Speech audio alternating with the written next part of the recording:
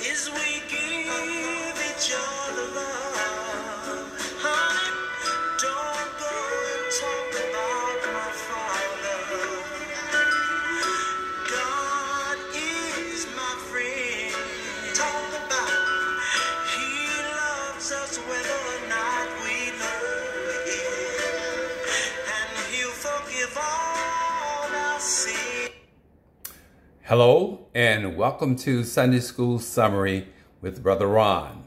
Sunday School lesson for Sunday, August 22nd, 2021.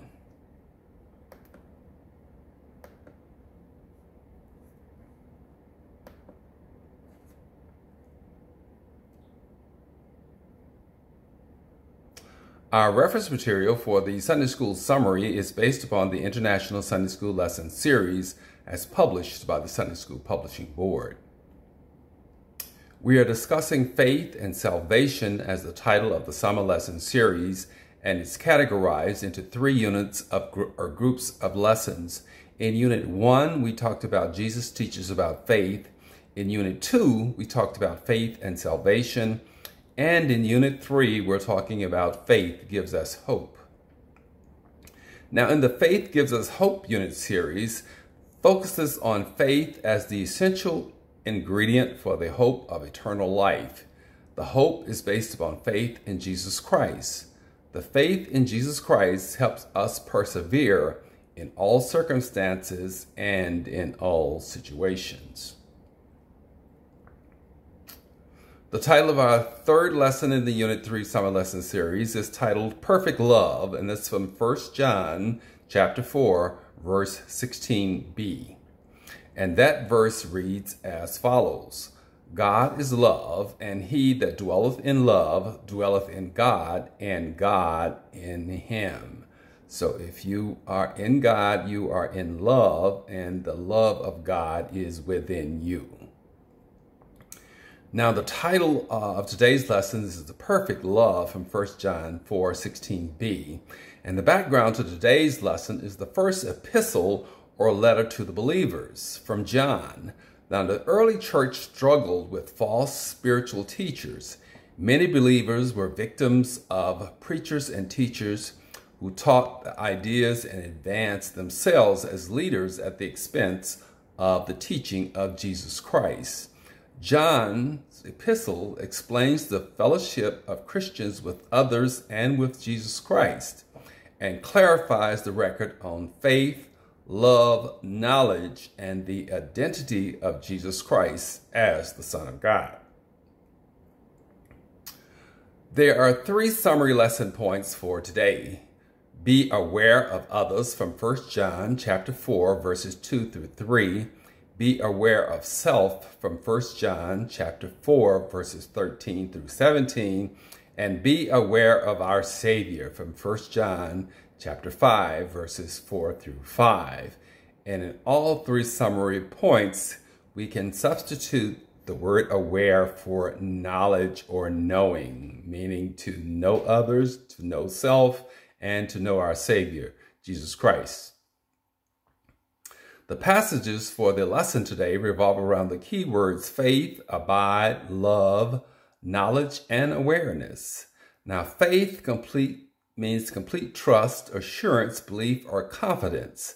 In this case, it is our faith in Jesus Christ. Now, abide means a rule, decision, or recommendation. It means to accept it and continue to live or dwell, and we accept Jesus Christ as our personal Savior, and abides within, meaning that it dwells within us, the teachings of Jesus and the practices.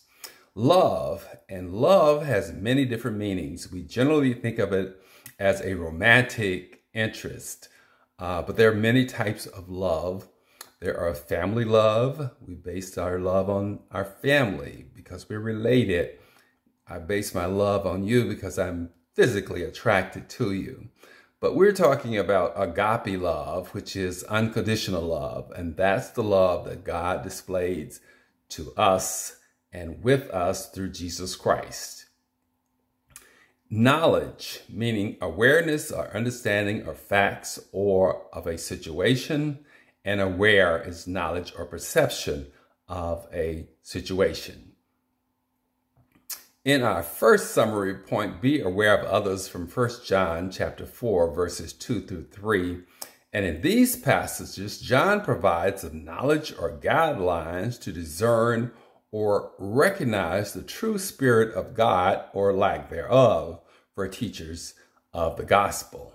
And First John notes that a true spirit from God acknowledges and recognizes that Jesus is the flesh, was of God, and sent from God as the Savior for the world because of God's love for the world.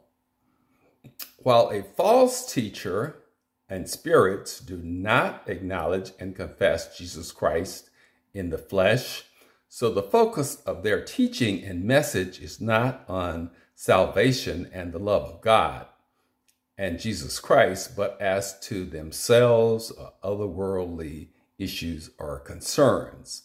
So false teachers are the result of the influence of the Antichrist in the world and in our lives. And we have to be aware so that we can be discerning of the good spirits from the Antichrist. The second summary point is to be aware of self, and that's from 1 John chapter 4, verses 13 through 17.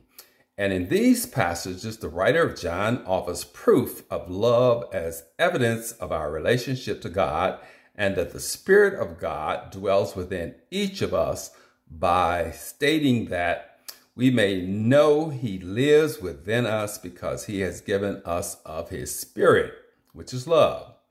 First John further states that no one has ever seen God, but if we love one another, God loved in us and his love is made complete in us.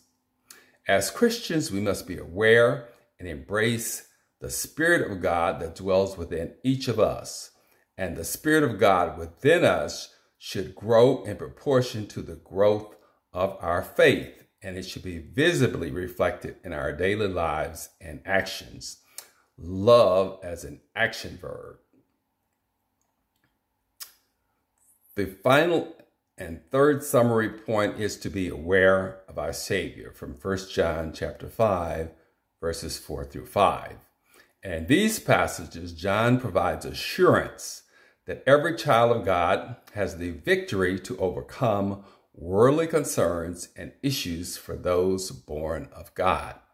Those born of God believe that Jesus is the Son of God and the power of salvation through Jesus Christ saves us, and that our faith in Jesus Christ is the weapon that we believers use to overcome the world and to prevail in times of trouble.